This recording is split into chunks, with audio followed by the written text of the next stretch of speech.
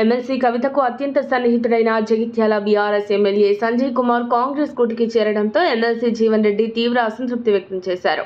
దీంతో ఇతర పార్టీల నుండి వచ్చే నేతల చేరికకు విరామం ప్రకటిస్తారని బీజేపీ బీఆర్ఎస్ నేతలు ఆశపడ్డారు. కానీ తెలంగాణ కాంగ్రెస్ పంచాయతీ ఢిల్లీకి చేరడంతో ఎమ్మెల్సీ జీవన్ రెడ్డిని ఢిల్లీకి పిలిపించి బుజ్జగించిన కాంగ్రెస్ అధిష్టానం తెలంగాణ కాంగ్రెస్లో చేరికలు కొనసాగుతాయని సంకేతాలు ఇచ్చింది ఈ క్రమంలోనే కాంగ్రెస్ నేతలకు ఇబ్బంది కలగకుండా ఆపరేషన్ ఆకర్షతో కాంగ్రెస్లో చేరికలు కొనసాగించాలని రాష్ట్ర నాయకత్వం సిద్ధమైంది. బీజేపీ బీఆర్ఎస్ నేతలు కాంగ్రెస్లో చేరికకు ఎల్లప్పుడూ గాంధీ భవన్ తలుపులు తెరిచే ఉంటాయని తెలంగాణ కాంగ్రెస్ ఇన్ఛార్జ్ దాస్ మున్షి స్పష్టం చేశారు.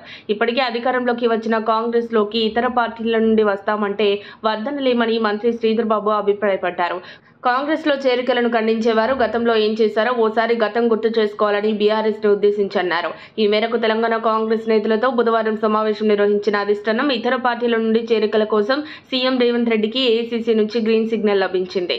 ప్రస్తుత పరిస్థితుల్లో చేరికలు తప్పవని అభిప్రాయానికి వచ్చిన అధిష్టానం బీజేపీ బీఆర్ఎస్ పార్టీలకు చెందిన మరికొందరు సభ్యులను చేర్చుకోవాలని పీసీసీకి సూచించినట్టు సమాచారం. ఇప్పటికే సీఎం రేవంత్ ఉప ముఖ్యమంత్రి భట్టి ఢిల్లీ పర్యటనలో ఉండటంతో నూతన పీసీసీ ఎంపికపై కూడా స్పష్టత వచ్చినట్లు తెలిసింది. పీసీసీ చీఫ్గా ఎవరిని నియమించాలి ఏ సామాజిక వర్గానికి చెందిన వారికి ఇవ్వాలి అనే కోణంలో కసరత్తు చేసినట్లు సమాచారం.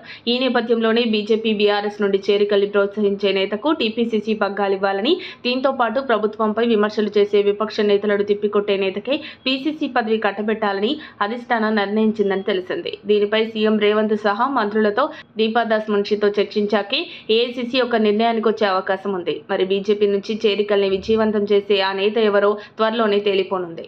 మరిన్ని అప్డేట్స్ కోసం మా కాయ్ టీవీని సబ్స్క్రైబ్ చేసుకోండి. మా వీడియో కనుక మీకు నచ్చినట్లయితే లైక్ చేయండి షేర్ చేయండి. మీ విలువైన అభిప్రాయాలను కామెంట్ బాక్స్లో తెలియజేయండి.